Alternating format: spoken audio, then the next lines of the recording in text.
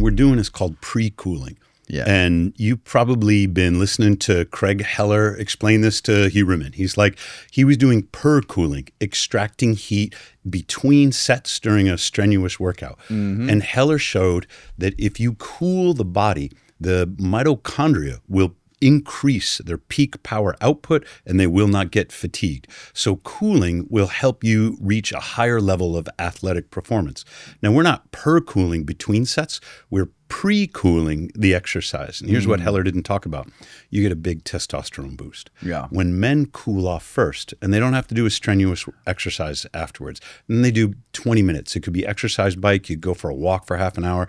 Uh, I like doing lunges. I like my steel mace. So a little bit of light exercise to rewarm the limbs. They get a big boost in testosterone. And this explains my lab reports because I've been putting them online now for five years. I'm a fat 59 year old sedentary college professor, and my testosterone is over a thousand nanograms per deciliter. So, how do you think that happens? The testosterone is a reflection of your metabolism. Testosterone is made in the mitochondria. And this is what people don't realize that all sex hormones originate in the mitochondria. So if your mitochondria aren't right, you can't possibly be synthesizing enough sex hormones to have a higher level of testosterone. Turns out there's a study goes way back to 1991 in which they tried ice well cold stimulation for recovery from exercise. Just like you know your high school track coach says you're supposed to do after practice. Right. that lowers testosterone. It lowers luteinizing hormone. Luteinizing hormone is what Yeah. signals the gonads to make the testosterone. But if you reverse the order which is what they did in 1991 if you do the cooling before you do the exercise luteinizing hormone goes up through the roof. Testosterone goes up through the roof. So by reversing the order you get the hypertrophy. You get the muscle building hormone. Mm. Plus you speed recovery. Everybody and this is a slight exaggeration, but everybody who hasn't been listening to Joe Rogan on this is still doing it wrong.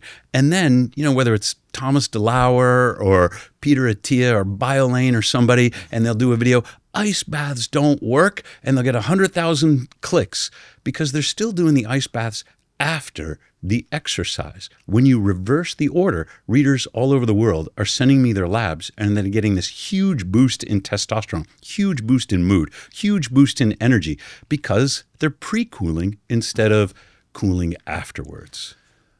I didn't. I haven't. I've heard about this, but I have not witnessed this phenomena of people online saying ice baths don't work.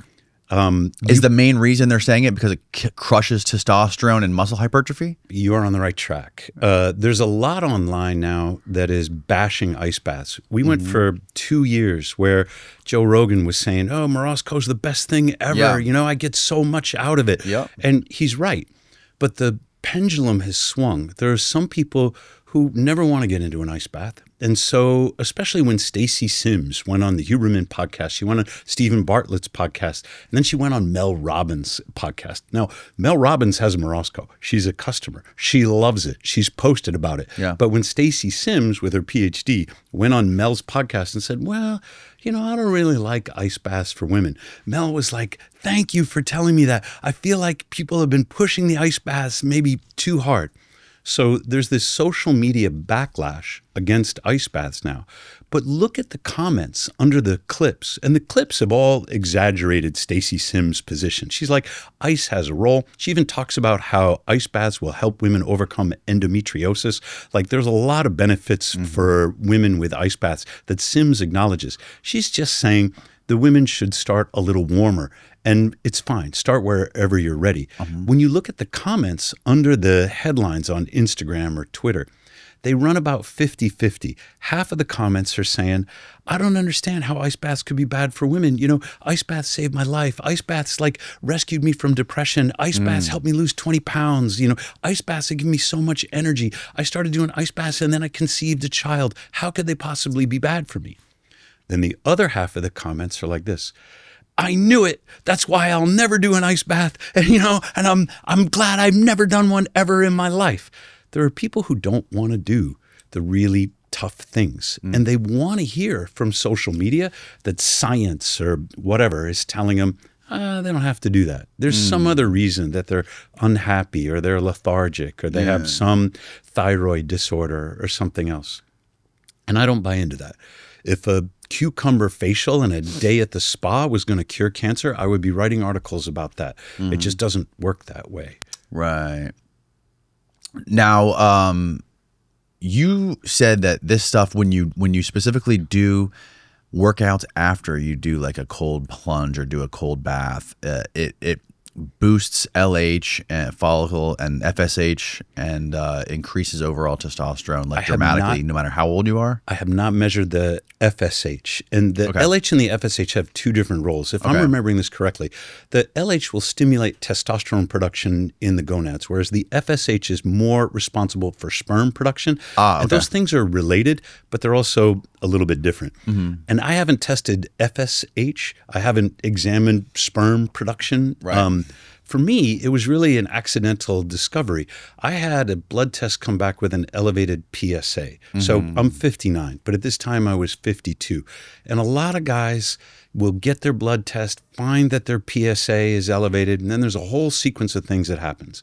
First thing that happens is you go online and you say, What the hell is a PSA? You know, and why is mine seven or whatever? It takes about 20 minutes online, and WebMD is going to convince you that you're going to die of cancer. Yeah, Like, this is what happened to me because I'm prone to these catastrophic mm-hmm. thoughts. Then you're supposed to go to a urologist who will tell you your prostate is inflamed, then recommend a biopsy. In a biopsy, they will remove like 16 tissue samples out of your prostate. I'm not recommending this. I'm not a medical doctor. I'm a PhD, and those are two different degrees. But it sounds like an awful experience. And the men that I've talked to who have been through it told me horror stories about how painful it was and the false positives that can result. So then they examine these tissue samples and they say, well, is it cancer? The false positive rate is very high. And so you might have nine come back cancerous and maybe the rest no cancer. And you say, well, I don't know. And then your urologist will say, as a precautionary measure, we should remove your prostate because it, it could be cancer. After you have your prostate removed, you will be incontinent, mm. almost certainly, at least for some time, and you'll never get an erection again. So, this is what happens in my head at the age of 52 when I have a lab test showing my PSA is too high.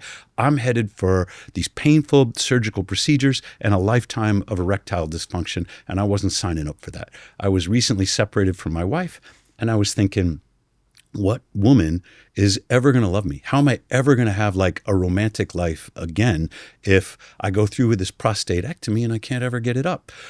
So I said, I'm going to find some other way to do it.